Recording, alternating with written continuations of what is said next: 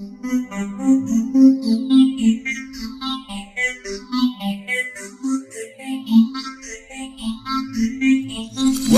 ladies and gentlemen, to Debate the Hate here at Hub 32, where we bring you all the YouTube podcasters, web designers, writers that we can find and bring them here on this show to debate all the topics, topics they love from entertainment, from TV, movies, video games, books, comics, you name it. They come on here and tell us all why it's the most amazing thing in the world. And all those haters out there should shut the damn mouths. And I take the side of all you haters for the fun of it and see if they can defend their beloved series.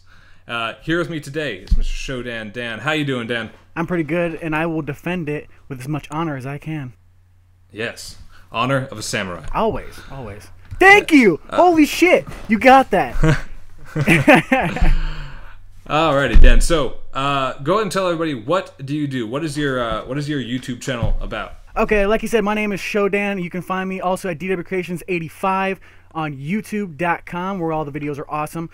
On my channel, you're going to find a lot of tech stuff, a lot of things about iPhones, jailbreaking, iPhone tweaks, stuff like that. Anything kind of uh, of a review and some little bit of GoPro stuff. Some anything I can really think of that you're going to be liking to watch. for me. Oh, that was pretty funny for me. It was kind of funny to see that happen.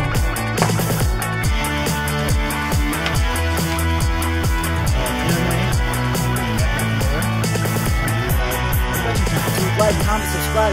Radical. Radical. Radical. Radical.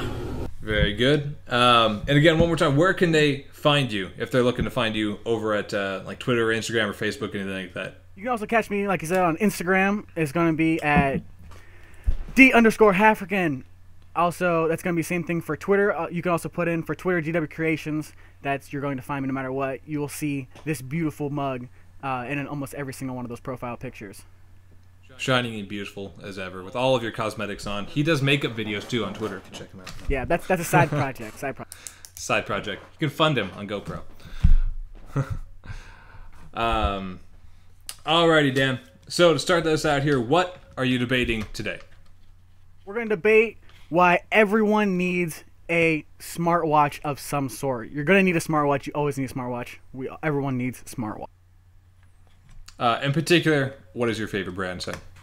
I have two brands. Uh, they're for different sides of me. My favorite brand pr- is probably going to be the Apple Watch. I am an Apple geek, and that's kind of what happens. But the other brand that's for the more techie side, more of uh, down and dirty tech, is going to be the Pebble smartwatch. Okay. Alright, so how this is going to work here, Dan, is I'm going to go ahead and give you a rough two minutes on the clock here. We'll let you get out uh, your starting argument. So everything you have to say um, about Pebble watches, Apple watches, smartwatches in general, get everything you want to say out now before I start tearing everything down around you. Um, so we're going to go ahead and give you uh, two minutes here on the clock. Uh, if you don't need the whole two minutes, go ahead and let me know. After that two minutes is over, we'll go ahead and start the lightning round. Are you ready, Dan? Let's get it. Let's come on. Alrighty, in three, two, one, go. Okay, we're gonna fortify this real quick. So everyone needs a smartwatch. Everyone has a cell phone. Everyone needs a cell phone. We all want to be connected, but we always get bugged by having uh, notifications everywhere. You have new YouTube notifications. You have calls, text messages, emails. You always have something going on.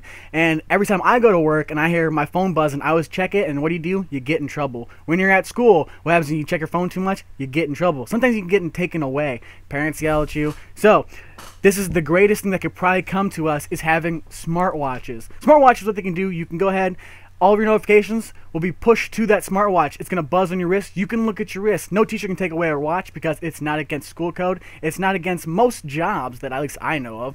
And they're just awesome things. You can play, depending on what type of watch you have, you can play on them. You can have little games. I remember on my Pebble watch, I had an awesome little game where I took control of a cat. I had a cat buddy. It was awesome, okay? It was awesome.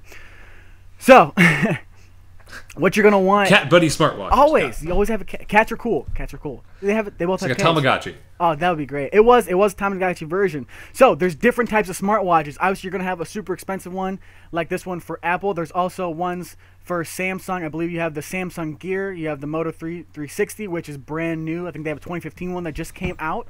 They have uh, the Pebble smartwatch. They have the different versions of the Pebble smartwatch. So you have all the different price tiers coming for you. You have all these different ones. You even have these ones that are very they're from Fossil. They have you have uh, Fitbits, which are stupid. First of all, Fitbits are ridiculously stupid. You have all these I'm other with you on that one. Don't worry. smartwatches, and they do they are the next generation in phones. Right now, they're in kind of I feel the beta stage because they're just tethered to your phone. But soon is it is the smaller version of your phone. It is going to be on your watch. You know, it's on your wrist. It's so small and can do all these things. Soon, I feel like that's going to be your new phone. With Apple Watches right now, I believe with the Moto 360s and Samsung Gear. It's the end of your two minutes. Oh, uh, hater! I, I was fortified. I was fortified. you got a lot into two minutes. You talked pretty fast, actually. That's very good. Um, all right. So we're gonna go ahead and jump into the lightning round. Are you feeling confident about this? I, I'm confident. I don't think you can bring me down. It sounds like you've done your research.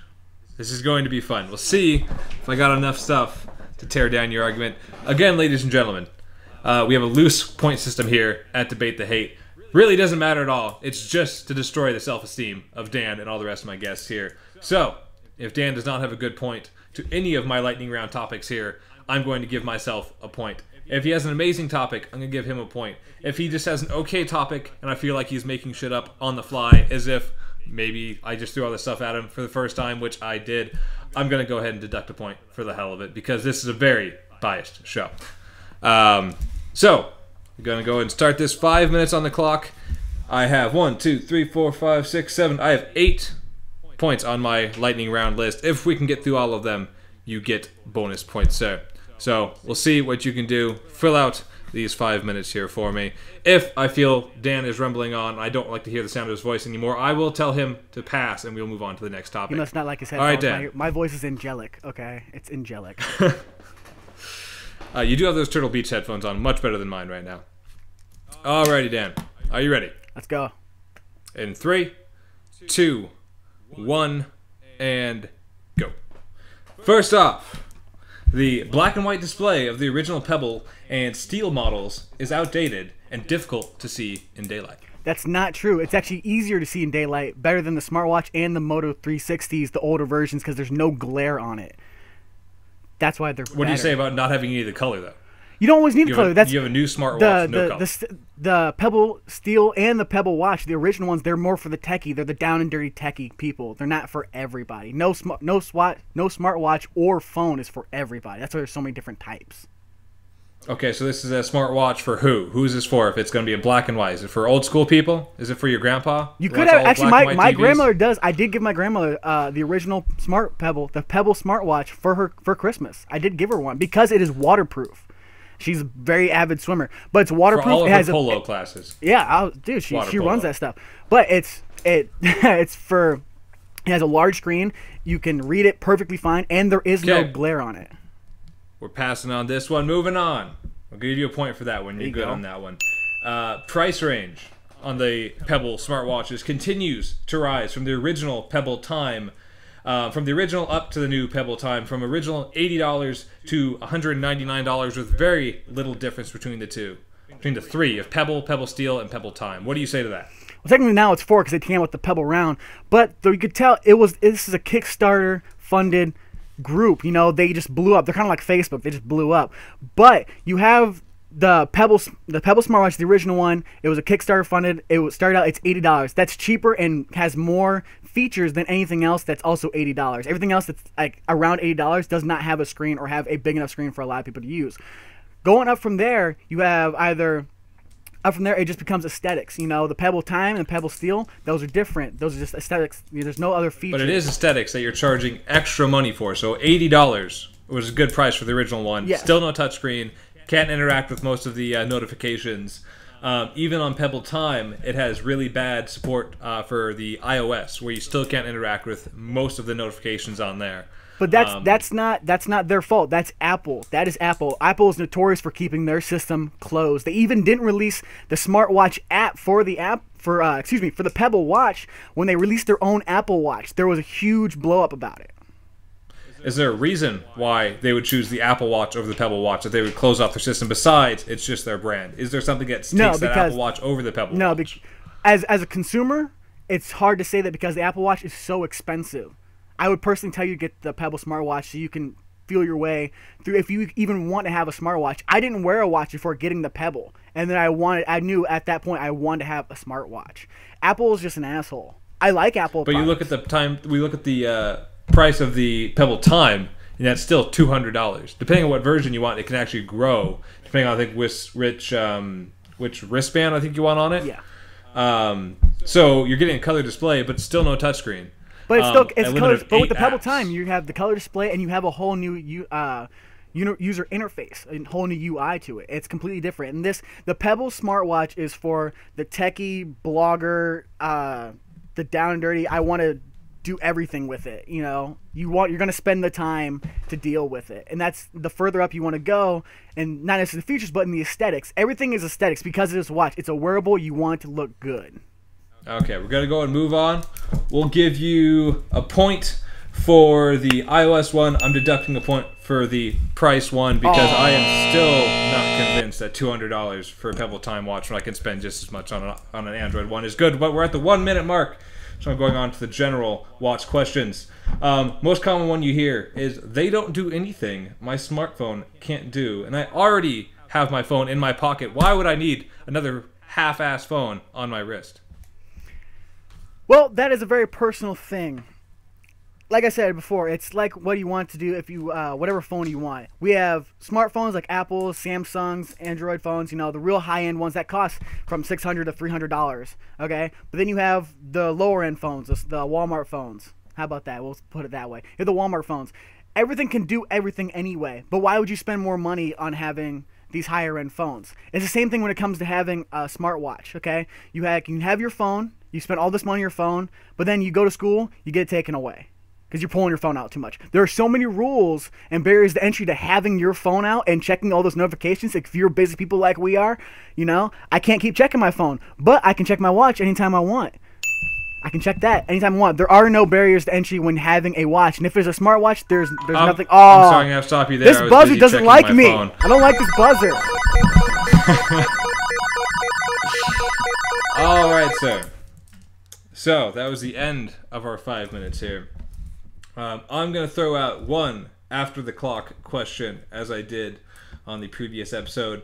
Uh, we'll give you give you a few seconds of unabated time before I cut you off again.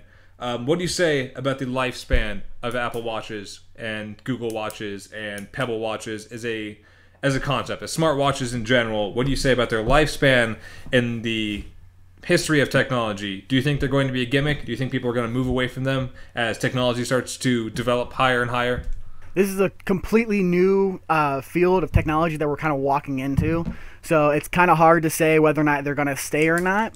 I think it is, but I feel like a lot of the people, a lot of the the brands that are making them are pushing too hard and are not letting people kind of um, wash over them. You know, they're not letting them uh, experience the watch. They're trying to put out the brand new thing right here, right now, like they are with phones. And now we have this over uh, saturation of phones. I feel like they're trying to do that with the watch, and I think that that if the, if anything, that's going to kill the smartwatch industry. But if I feel if they- Oversaturation? yeah, and because we have so many phones that do the same thing, and when it comes to smartwatch, like I said, I feel like Pebble is really the only one kind of being different because they're not doing the same thing. Their UI is different. You know, they're, they they are they are specifically a smartwatch for your phone. That's the only phone that's compatible between both sides of iOS and Android, at least that I can think of. You know, that has a screen, can do all those regular, at least most of the features on both uh, softwares. So is it gonna die soon? Maybe, but that's only because the brands are trying too hard. Sounds like the same reason why the video game market crashed. Yeah, but then it came back 80s. because just Yeah. the nostalgic. So maybe that's gonna happen. Now also watches did the same thing. All you ever hear about is Rolex and all these nice watches by all these musicians. But I mean, like I said, I didn't wear a watch forever. I didn't. It's just I thought they were weird and kind of useless. Like, why would I do that if I have my phone? But then I took the leap and made the experience with having my Pebble smartwatch, and I was like, okay, I like smartwatches. I I work in a machine shop and I get yelled at all day. They're like, "Why would you have a four hundred dollar watch on that you can hit on a machine?" And it's like, well, I spend all day here at work. I'm spent four hundred dollars, and I'm gonna fucking wear it.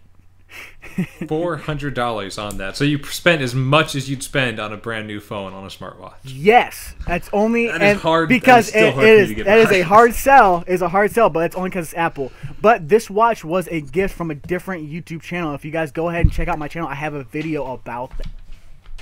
All right, so wrapping that up. Go ahead and tell them where uh, where all the YouTubers out there can find. Uh, any viewers out there can find uh, the rest of your channel videos you uh, reviewing various smartwatches, cell phones, and uh, jailbreak advice. Where can they find that one more time, everybody?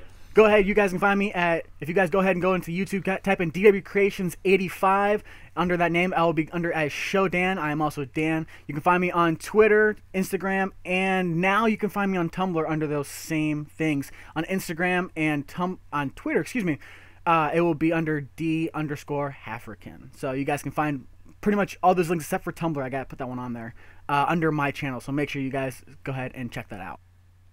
Alrighty.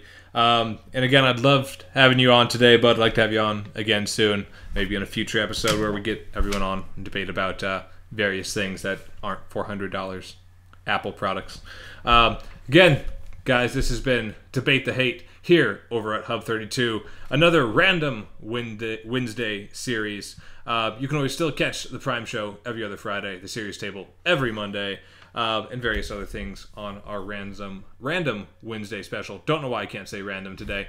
All right, thank you very much, guys, and as usual, stick around for our outro video to find out how you can get on our show if you are another YouTuber, podcaster, uh, web designer, or writer. Go and stay tuned for that. Because it's Again, random.